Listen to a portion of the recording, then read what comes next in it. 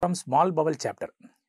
There are not much bigger updates compared to old edition. This, most of the points are same. Uh, one more point I want to discuss in this small bowel updates is related to celiac disease. There are some points related to celiac disease. Can you tell me the answer for this? In evaluation of celiac disease related to biopsies, false statement is because celiac disease is confirmed by taking a biopsy. So anti-IgA, anti-tissue, anti-tissue transglutaminase. So anti-tissue transglutaminase is used for detection. That is true. Confirmatory test is anti-endomysial antibodies. Biopsy test must be done when the patient is on gluten-free diet.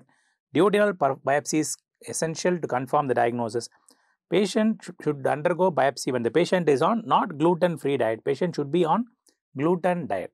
See, this is a condition very rarely seen condition in India, but it is the most common malabsorption in UK. They are saying it is having an incidence of 1 is to 1800.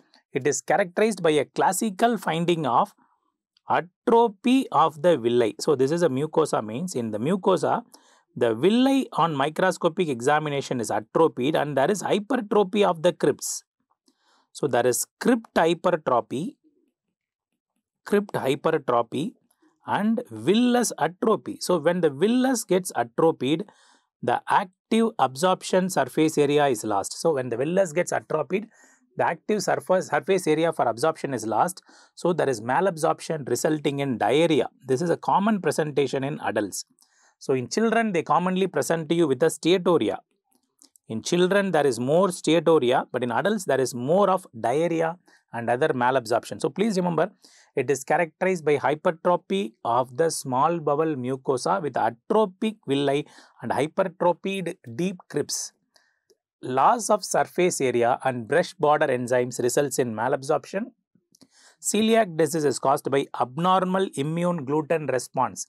It is a response to gluten. It is a cereal protein which is found in our diet. The exact mechanism remains unclear. It is a genetic component associated with HLA B8 and more common in first degree relatives also have this. In children, celiac disease presents with steatorrhea and growth retardation. In adults, they cause diarrhea and weight loss.